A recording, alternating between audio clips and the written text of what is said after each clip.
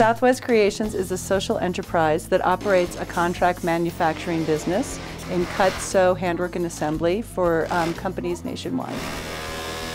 Our theory of change for why we created this project was based on one that's done all over the world working with women in economic development projects, which is if you give a woman a chance to earn income, she'll use that income for herself and for her children and her family first. As a poverty alleviation strategy and one that's targeting vulnerable children, uh, we felt that giving women a chance to uh, be part of a business opportunity to earn money and then create programs around to support them and their families was the best way to really give people a leg up in creating what we like to call intergenerational wealth so that the women are working here and their children are going to have much better opportunities to go to college, complete their education, have better housing, and have more stable family lives.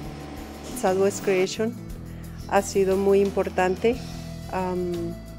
Tengo este, trabajando aquí por 17 años. He estado uh, aprendiendo muchas cosas. Me ha dado muchas oportunidades de trabajo. Yo pienso que estoy preparada para el futuro uh, en muchas uh, maneras. He aprendido un poco inglés, tengo mi GD, mi ciudadanía. Um, aparte de eso, he aprendido mucho liderazgo. Um, yo creo que estoy lista para si en el futuro yo tengo que salir de aquí, estoy lista. Flor is not only a, a, you know a wonderful mother, but a role model to the other women here who are struggling to determine what are the best ways to create opportunities for my children. I think what impressed me the most was the comprehensive nature of what goes on here. Uh, women can come here and, and uh, get uh, skills that they may not be able to uh, obtain elsewhere. Uh, they can come to a safe place to work. They can bring their children for uh, daycare.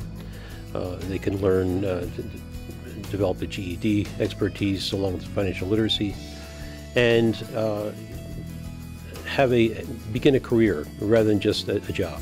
And I think that the that comprehensive nature uh, really uh, is is relatively unique in the job market here, in, at least in the Albuquerque area. People in in, uh, in government positions who are looking at programs like this could uh, support a program as, as this kind of comprehensive nature because it has an income stream, because it pays back for what money is uh, is initially put into the program. It would take some vision, it would take some innovation, but I think this could be replicated in a lot of different places with some seed money to get started. Um, some, uh, and not necessarily just this kind of business, but a lot of different kind of business could take this model and, and, and make it grow. I think the great measure of success here are the women and their families that um, have been not only recipients of the benefits of the programs of Southwest Creations, but are also really giving back to building those programs for other women here.